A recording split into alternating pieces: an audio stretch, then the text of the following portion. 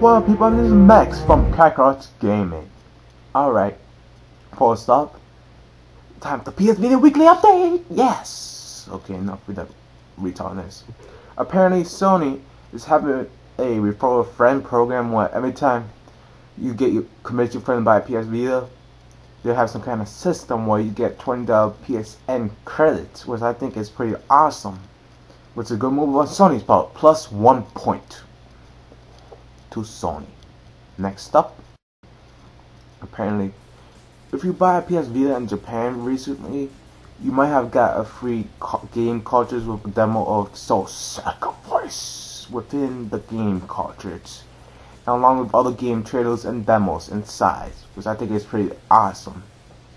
Why do you bring it here to the US, Sony? Why?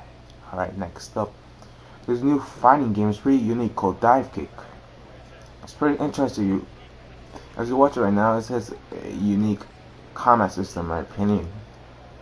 This scheduled to be released sometime this year, I believe. I'm right. I believe so. I'm right. Don't do that to me. Next up, this new fight, this new fishing game for Let's Fish Hooked for the PSV. It's supposed to come out this month, sometime uh, on the 29th, I believe. Hmm.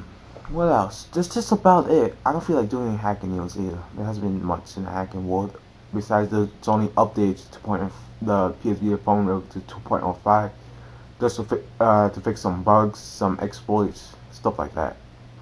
So yeah, one more thing. We actually stuck to the end of this video. Thank you. If I get at least 10 likes on this video, I will spike up my hair next video. So you be something like this. I will spike up my hair and talk like a lunatic in the next PSV weekly update.